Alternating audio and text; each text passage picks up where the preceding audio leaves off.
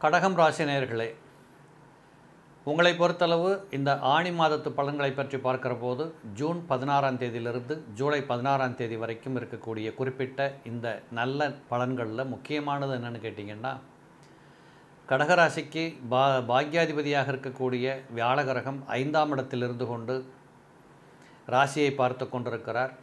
உங்களுடைய ஒன்பதாம் இடத்தை பார்த்து கொண்டிருக்கிறார். ஐந்தாம் இடத்திலேயே வீற்றிருக்கிறார்.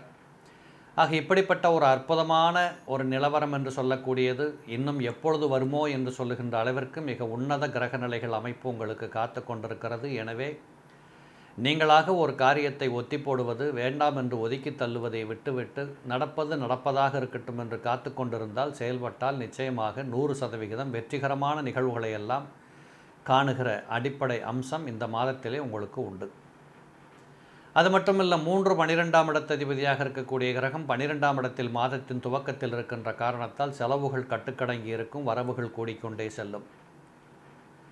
அதுபோல் பதினோராம் இடத்திலே சுக்கரன் வீற்றிருப்பது என்பது இயற்கை வசப்படும் என்று சொல்லுகின்ற அளவிற்கு உங்களுக்கு தெய்வ அனுகூலமாகட்டும் மற்றவர்களின் உதவிகளாகட்டும் எதிர்பார்த்த இடங்களிலிருந்து எதிர்பார்த்த பண வரவுகள் வருவதாகட்டும். குறிப்பாக ஸ்பெகுலேஷன் பண்ணக்கூடியவர்கள் வாகனங்களை வைத்து தொழில் செய்யக்கூடியவர்கள் இந்த டிக்கெட் ஏஜென்சி நடத்துகிறவங்க இப்படிப்பட்ட நிறைய பேர்களுக்கு இந்த காலகட்டத்திலே மனம் கொளுரும்படியான மிக நல்ல தகவல்கள் காத்து கொண்டிருக்கிறது வீட்டுக்குள் பிள்ளைகளின் திருமணத்தை நடத்தி முடிப்பதற்குண்டான சூழல் உண்டு. சுபகாரிய பேச்சுவார்த்தைகள் வெற்றி பெறக்கூடிய வாய்ப்புகள் உண்டு.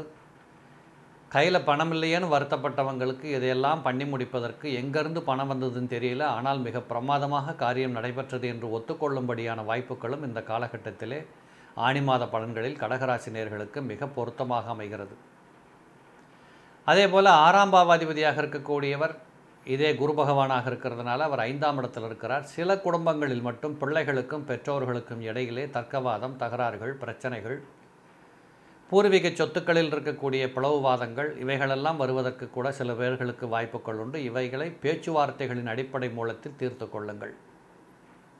சனிகிரகம் எட்டாம் எட்டாம் பாவாதிபதியாக இருக்கக்கூடியவராக இருந்தாலும் அவர் உங்கள் ராசிக்கு ஆறாம் இடத்தில் மறைந்திருக்கிற காரணத்தாலும் கேதுவோடு சம்பந்தப்பட்டதனாலும் எதிரிகள் நோய்கள் வழக்கு சிக்கல் சிரமங்கள் இவற்றிலே வெற்றிகள்.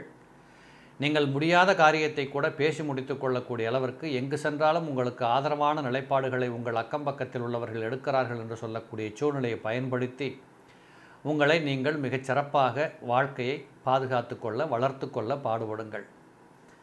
எல்லாவற்றுக்கும் மேலமாக மேலாக ஒன்று சொல்லணுன்னா கொஞ்சம் பொறுமையாக இந்த மாதத்தை கடத்துனீங்கன்னா நிறைய லாபங்கள் இருக்குது அவசரப்பட்டு ஆத்திரப்பட்டு எடுத்தோம் கவிழ்த்தோம் என்ற மாதிரி உணர்ச்சி வசப்பட்டு பயணத்தை துவங்க வேண்டாம்.